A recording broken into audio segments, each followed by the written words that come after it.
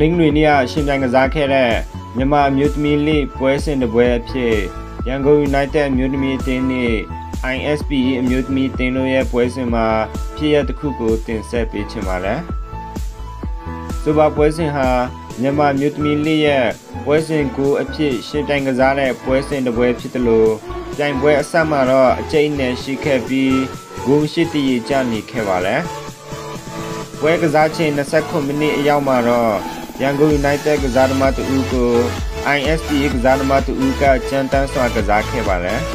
။အဆိုပါကြမ်းတမ်းမှုကြောင့်ရန်ကုန် United ကစားသမားရဲ့ခြေကဝယ်ဝါတဲ့အဖြစ်ဖြစ်ခဲ့တော့လဲ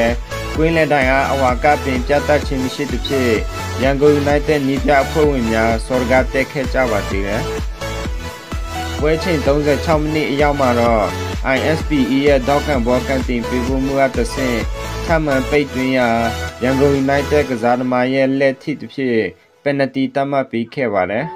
။အဆိုပါဖြစ်ရသည့်ပယ်နတီစီအတွင်းမဟုတ်၍ပယ်နတီမပေးရန်ရန်ကုန် United ကစားသမားများစီကြတိုင်းအပေါ်စောရကတဲ့ရင်ပြိုင်ပွဲဆက်လက်မကစားရန်အဖြစ်ဖြစ်လာခဲ့ပါတယ်။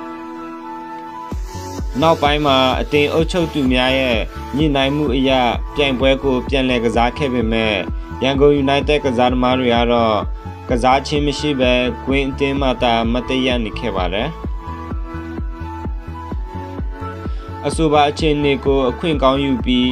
ISPE တင်ကောင်းဆောင်ခင်မလာထုံဦးဆောင်ပြီးမညာမတတွင်ကိုများတရဆတွင်ယူနေခဲ့ပါတယ်ဒုတိယပိုင်းအရောက်မှာတော့ရန်ကုန် United အတင်းဟာလူစားလဲမှု၅ချိန်စလုံးပြုလုပ်ခဲ့ပြီး ပွဲချင်းတွင်းမှာလည်းကစားသမားတူပြီးတူဒဏ်ရာရရှိရဆိုပြီးကွင်းပြင်ထွက်သွားခဲ့ကြပါလေဆိုပါကစားသမားများပြန်လည်ဝင်ရောက်လာခြင်းမရှိဘဲကွင်းအတွင်းတွင်ရန်ကုန် United ကစားသမား6ဦးတာကျန်ရှိတော့သဖြင့်ပွဲချင်း59မိနစ်တွင်ကွင်းလက်တိုင်ကပွဲကိုရပ်နာခဲ့ရပါလေအဆိုပါပွဲစဉ်ပြီးမှတော့ ISP အသင်းဟာ ရန်ကုန် United အသင်းကို7ဂိုးဂိုးမရှိဖြစ်အနိုင်ရရှိသွားခဲ့ပြီးအဆိုပါပြိုင်ပွဲဟာလည်းရုပ်စုအကျဉ်းတန်တဲ့ဖြစ်ရဖြစ်သွားခဲ့ရပါလေရန်ကုန် United အမျိုးသမီးအသင်းနဲ့